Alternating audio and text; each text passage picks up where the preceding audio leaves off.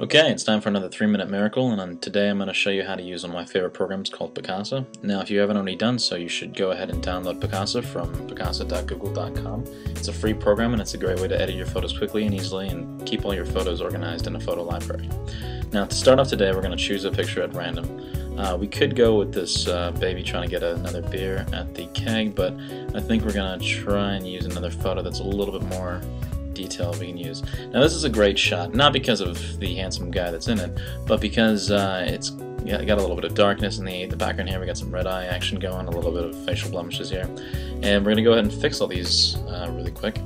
So to start off, I'm going to use the I'm Feeling Lucky button. It's going to go ahead and brighten up the whole photo a little bit to uh, give it a lot more clarity, take out the extra levels that you can't see.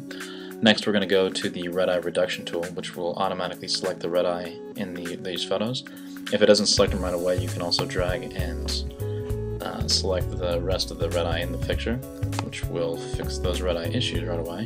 And once all of them have been selected, you go and go ahead and hit apply, which will apply those changes. Clicks over.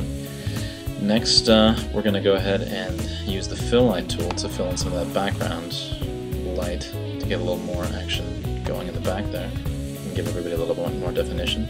Next we're going to go to zoom in down here at the bottom, which will allow us to zoom in a little bit on the facial features and retouch the face in certain parts.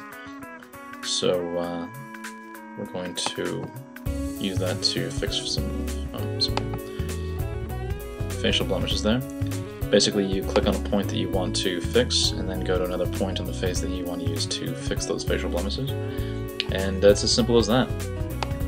Go ahead and zoom back out. It looks pretty good. Hit apply. Uh, next we're going to go into tuning. Uh, give it a little bit more temperature. We're going to use color warmify to give everybody kind of a tan action going. Then uh, if we wanted to, we could always go into highlights and highlight a little bit more, use shadows to give it a little bit more darkness to it. But uh, I think we maybe do a little bit of shadow. Looks good. And uh, that's pretty nice. So uh, after that, we might go to warmify to kind of give the whole picture a warmer feel. Um, if it was blurrier, I'd say we could go to sharpen and use that sharpen tool, but it's not so much so, so we can kind of not worry about that for the moment. Uh, the last thing I'd like to do is sort of crop it so that we have just uh, me and Molly here in the photo, and uh, kick it off. So, there we go. Great photo from Terrible Photo in uh, three minutes or less. Then all you have to do is hit save, and you're good to go.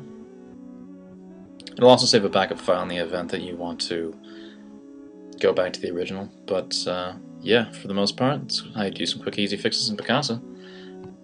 Um, that's it.